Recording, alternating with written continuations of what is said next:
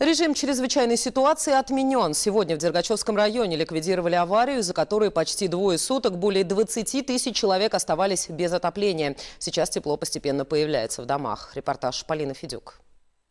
Сократить сроки ремонтных работ и как можно быстрее ликвидировать аварию в Дергачевском районе на месте прорыва газопровода. Такие задачи губернатор ставит перед газовиками.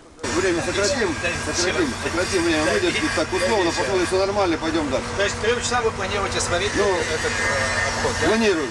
Заминок в ходе восстановительных работ допускать больше нельзя. Погодные условия и без того уже осложнили сложившуюся ситуацию. Почти двое суток более 20 тысяч жителей района оставались без тепла и газа. Прохладно?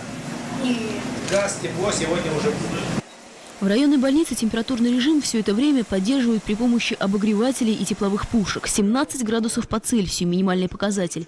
Ниже этой отметки температура не опускается.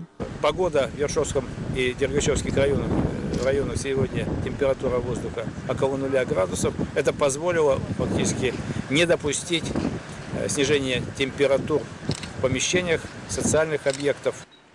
Пока в районной больнице стараются сохранить последнее тепло, на аварийном участке уже приступили к завершающему этапу сварки газопровода. Уже через несколько часов по окончанию ремонтных работ проводят пусковую операцию по подаче газа. Работы были должным образом организованы и за счет хорошей профессиональной работы э, здесь на месте и организаторов, и конкретных профессиональных сварщиков, монтажников. Я считаю, что удалось это сделать за достаточно короткий срок.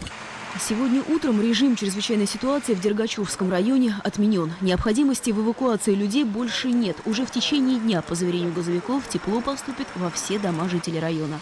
Полина Федюк, Алла Харунова, Вести Саратов.